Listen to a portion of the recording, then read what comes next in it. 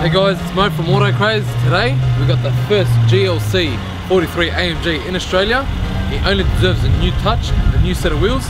This is the latest and the greatest that's come out of Zenetti.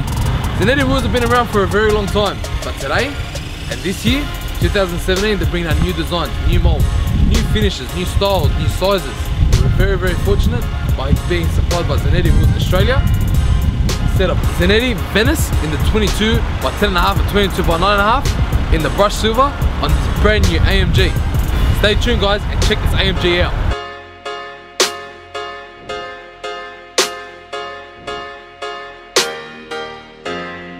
So we do it all from the AMGs to the Euros to the Japanese and the Ford Rangers. It's not always about four-wheel drives,